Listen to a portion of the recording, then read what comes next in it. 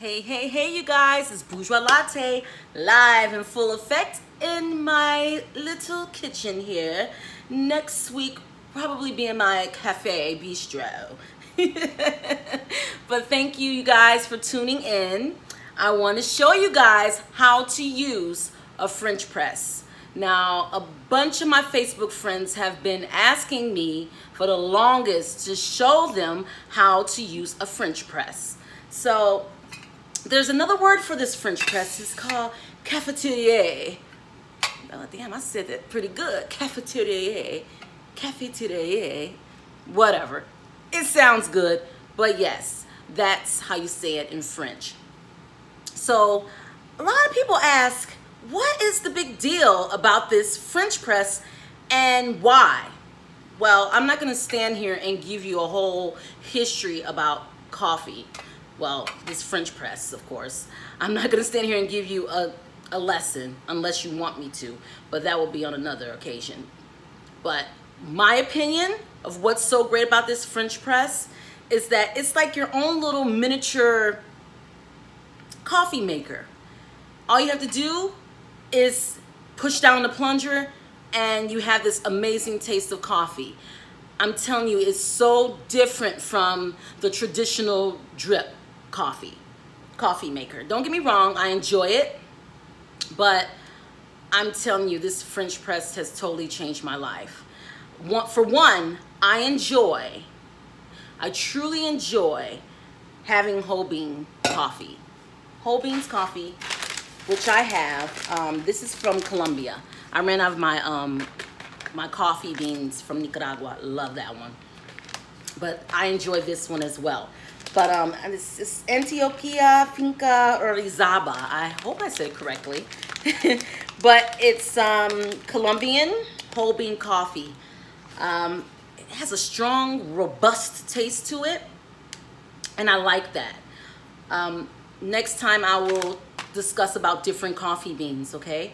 And I'll also let you guys know about my coffee club that I've joined. And it's great because they send you coffee every month. And depending on how many, you know, subscribers I can get in because I want everybody to view this, baby, so that I can like raffle off or do a giveaway of some really great coffee. But first and foremost, I have to show you how to use this French press, okay? Oh, there's another thing I want to tell you guys about. You guys need to check this out. Lavazza. That's another discussion. So back to my French press. Okay, you guys, I've already put coffee beans inside my little grinder, okay? And this is what it looks like. Now, the most important thing that you need to know, guys, I gotta get me a laptop. Let me get me a laptop soon. But first, gotta work with what you got, right? But first, make sure you have a really good grinder, okay? Now here, I'm gonna show you. Move it a little closer. When you use a French press, okay, you must, must, must make sure that it is on coarse, okay? You don't want it fine. If you have it too fine, it will clog the filters. So here with this French press, it has filters. You see it? And that's what separates the um, the grounds from from the um, actual beans when it's crushed.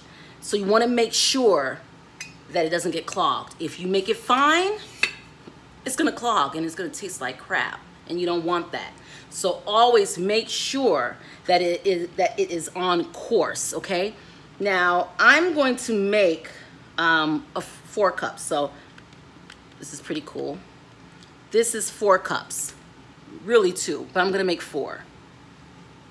You guys like my little latte cup? So cute. My sister, Dina Marie, she's Mommy's Beauty Cafe. You guys have to check her out. She does these fantastic coffee nails. Well, not just coffee nails, but she's gonna give me some coffee nails. So I can't wait to get my press-on nails cute. So yes, she sent this to me um, for Christmas, and I, I love it. But anyway, let me rinse it out a little bit.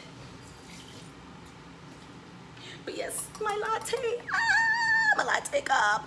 So anyway, make sure, as I was saying, make sure it's on coarse, okay? I'm about to actually turn on this grinder right now. And there's also different types of grinders that you have to look into.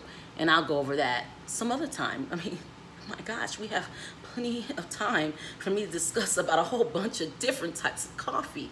I mean, you guys, I'm not gonna let you down. I'm gonna give you the full 411. So let me grind this. It's loud, but let me grind it.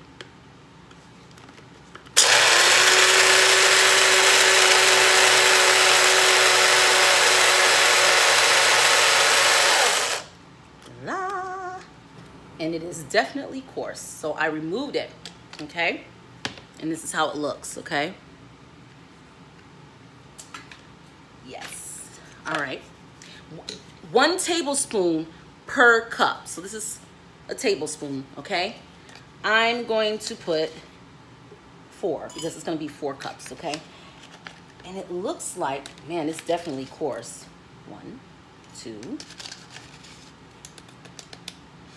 three. I'll let you guys get a closer look, see? And four, okay? Now, you need to have water boiled, okay? But do not, do not, I like it boiled. And I like, I like for it to sit for a little while. They say 122 degrees, but this is my coffee swag way of making coffee, you know? you can go to coffee, what's the name of it? Coffee.cup.guru. So if you want to like really know how to make different types of coffee, because some people are not really good with the measurements. And this app is amazing. It will definitely show you and walk you through it on how to make French press, Chemex, AeroPress. There's so many different types of coffee. Now, I don't have all those fancy machines, but I do have a couple other um, coffee machines that I'll, you know, I'll tell you guys about. So I've already boiled my water, okay? And it's, they say 122 degrees. Um, we don't have time for that.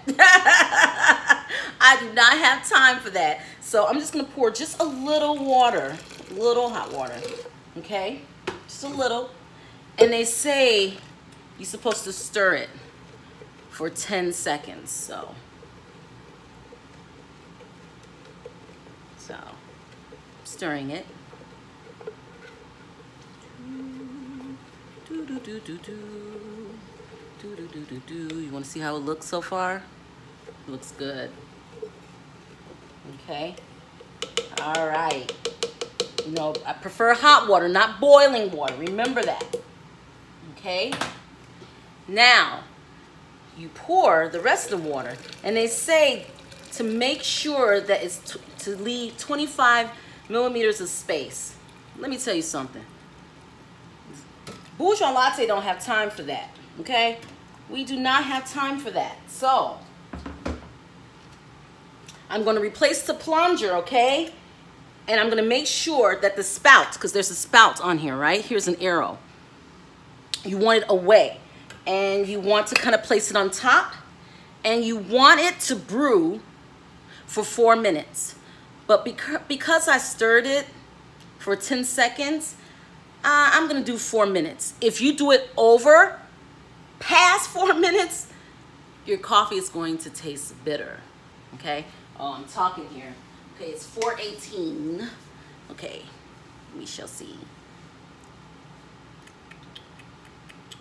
So four minutes, you guys. So you have to really be careful with this coffee because if you, if you wait, if you do it for five minutes, it's gonna be awful. And you don't want that. You really don't. And make sure the spout is turned away, okay? Because you don't want any space. You want it to be nice and hot and, you know, invest in a little, you know, Hamilton boiling pot here, okay? It's worth it. Now I do this every morning before work. I know. I mean, I gotta have the right cup of coffee. I'm bougie. I like I like my coffee, you know, international. I want the real deal Holyfield type of coffee. I don't mess around, you know. Can't you tell my coffee needs coffee? And I'm telling you, I drink coffee any time of the day. So, you know, I'm not a morning person, so I need my coffee. And that's just that. Hello? So, we have two more minutes. Two more minutes. So, you guys can, like, what? Brush your teeth, get ready. I mean, I even have my timer on sometimes, but I've gotten so good with it that I don't need it. But um, just remember, four minutes. Four minutes to do this. Do not, do not, do not go past your four minutes or it's gonna be bitter. But a way to get rid of the bitterness is to sprinkle a little salt. I know it sounds crazy, but sprinkle a little salt and you'll just get rid of that bitter. You don't, you don't, you don't need a bitter coffee, you know? it's like being with a bitter man. You don't want that, you know? or man, it's like being with a bitter woman. You don't want it bitter. You want it sweet. You want it delicious, you know? Ooh, one more minute, you guys. One more minute. I'm so excited. Ooh, yes. Oh, and if you ever want to add some flavor to your coffee, I love this, but this was a holiday special. This is the Califia um, almond milk eggnog. Love it. So if you want to add a little bit of that in your coffee, go for it. Or, you know, just your regular coffee mate, sugar-free, because there's people who can't, you know, who's on keto. You know, this will be perfect for you. You know, for the paleo people, you know, great creamers. There's, and creme, you know. I will talk about that later as well. So, you know, all right, it's that time, you guys. So what you need to do is press down on the plunger. Just like that. And then you turn the spout where the arrow is and bam.